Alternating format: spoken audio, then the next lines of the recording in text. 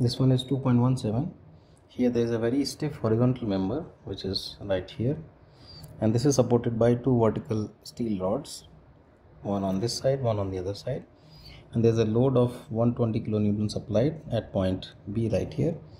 We need to find out the deflection at point B. So let's draw the free body diagram of this horizontal bar.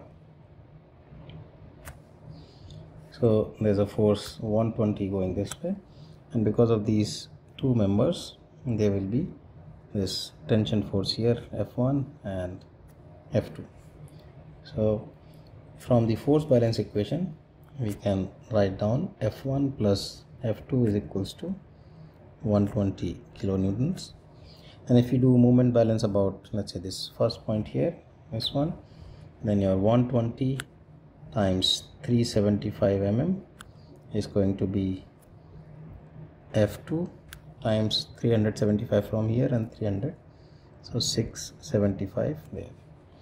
From these equations I can solve the value of f1 and f2 your f1 is 53.3 kilonewtons and f2 is 66.7 kilonewtons. Now once we have these forces we can go and calculate the deformation using Hooke's law so your delta 1 is going to be f1 l1 divided by e1 a1 this is for this member right here. So your delta 1 with a force value of 53.3 kilonewtons. Length here is 2 meters. Elastic modulus 205 for steel.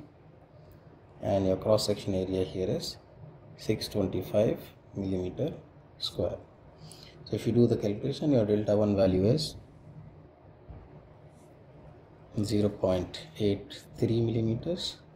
And similarly we can do delta 2 by changing the value of force to f2 length 2.7 so 66.7 times 2.7 meters divided by 205 gigapascals. And cross section area is 1250 so if you do this calculation your delta 2 value is 0.7 millimeters. So now you can see that after deformation the deformation at point A is slightly more than point B. So if I draw these separately here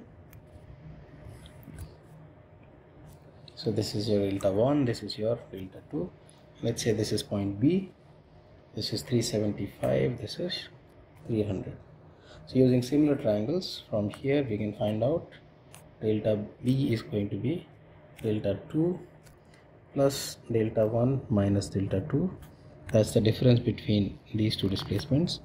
And since it is at, sitting at a distance of 300 mm from this side and the total distance is 675 so with this interpolation we can get the value of delta b which is 0 0.76 mm.